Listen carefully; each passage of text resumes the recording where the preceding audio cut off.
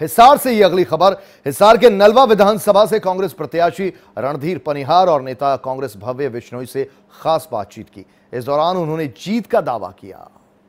उनसे भी बात करते हैं, लेकिन ये उनके साथ हैं कुलदीप बिश्नोई के बेटे, जो कि पूर्व जो सीएम हैं उनके बेटे कुलदीप बिश्नोई, उनके बेटे भव्य बिश्नोई जी आज हमारे साथ हैं। हम उनसे भी बातचीत करते हैं कि भसनलाल परिवार ने इनको नलवा हल्का से पूरी सपोर्ट कर रखी है कांग्रेस की तरफ़। जी अगर मैं बात करूँ, आप इस बार जो है रणधीर पनिहार को आपने नलवा से नया जो चेहरा है उतारा है मैदान में कांग्रेस पार्टी ने और आप एक सीएम परिवार से संबंध रखते हो, पूरे सीएम परिवार से, इनके साथ हो। तो क्या ऐसा है आपका जो है नलवा विधानसभा में, आपका जनता के ऊपर कितना विश्वास है? सबसे पहले मैं कहना चाहूँगा कि टिकट का, की वितरण कभी कोई इंसान नहीं करता, जनता करती है।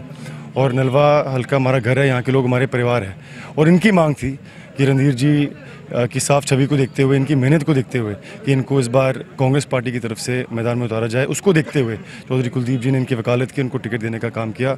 रणधीर जी आप बताइए कि नलवा विधानसभा में लगातार आप लोगों के बीच जा रहे हो ऐसे में आपके पास क्या मुद्दे हैं और जनता आपके ऊपर कैसे विश्वास जताएगी?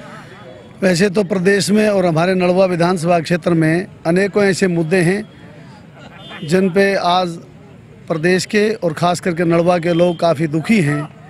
नड़वा में सबसे ज़्यादा जो अहम मांग है वो पानी की है। लगातार लोग संघर्ष कर रहे हैं। चौधरी भजन लाल जी के ज़माने में तीन तीन हफ़्ते यहाँ नहरों में पानी चलता था महीने में। वहाँ आज टेलों पे पानी नहीं महीने में एक हफ़्ता भी पानी नहीं आता।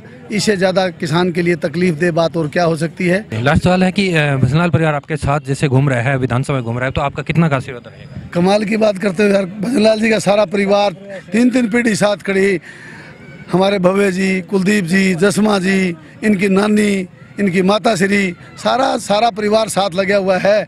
और परिवार जब साथ लगा हुआ है तो इसमें आशीर्वाद की फिर क्या कमी रह जाती है? ओके।